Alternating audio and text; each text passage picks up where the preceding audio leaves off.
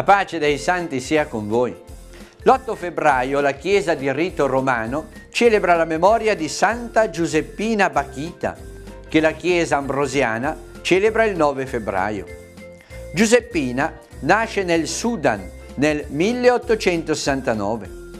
Rapita all'età di sette anni, venduta più volte, conosce sofferenze fisiche e morali che la lasciano senza un'identità.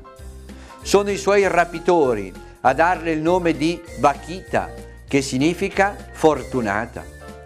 Nel 1882 viene comprata a Khartoum dal console italiano Calisto Legnani. Nel 1885 segue quest'ultimo in Italia, dove a Genova viene affidata alla famiglia di Augusto Micheli e diventa la bambinaia della figlia. Quando la famiglia Michieli si sposta sul Mar Rosso, Bachita resta con la loro bambina presso le suore canossiane di Venezia. Qui ha la possibilità di conoscere la fede cristiana e il 9 gennaio 1890 chiede il santo battesimo prendendo il nome di Giuseppina. Nel 1893 dopo un intenso cammino, decide di farsi suora canossiana per servire Dio che le aveva dato tante prove del suo amore. Divenuta suora, nel 1896 è trasferita a Schio, in provincia di Vicenza, dove muore l'8 febbraio 1947. Per 50 anni ha ricoperto compiti umili e semplici, offerti con generosità e semplicità.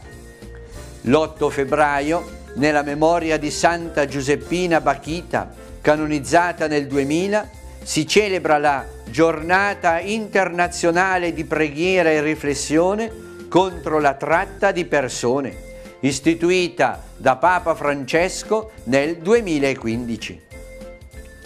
L'8 febbraio la Chiesa di rito ambrosiano celebra la memoria di San Girolamo Emiliani, fondatore della Società dei Servi dei Poveri, detti Somaschi. San Girolamo Emiliani si dedicò a malati, giovani abbandonati e al riscatto delle prostitute. Nato a Venezia nel 1486, intraprese la carriera militare nel 1511, in prigionia, maturò la vocazione similmente a Sant'Ignazio di Loyola, ferito a Pamplona.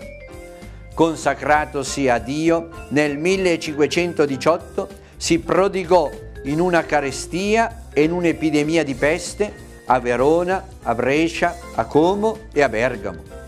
Qui, nel paesino di Somasca di Vercurago, nacque l'ordine di chierici regolari.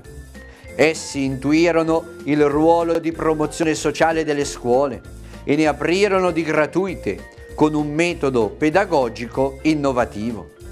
Il fondatore, San Girolamo Emiliani, morì di peste nel 1537 mentre assisteva dei malati santo dal 1767, dal 1928 San Girolamo Emiliani è patrono della gioventù abbandonata.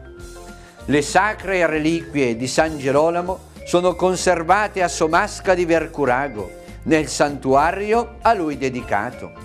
Auguri ai padri somaschi, una preghiera per le persone ancora oggi fatte schiave ed usate come oggetti Buon onomastico a tutti coloro che portano il nome di Santa Giuseppina e San Girolamo ed auguri a quanti l'8 febbraio festeggiano il compleanno, l'anniversario del battesimo, del matrimonio, dell'ordinazione sacra, della professione religiosa o qualunque altra felice ricorrenza.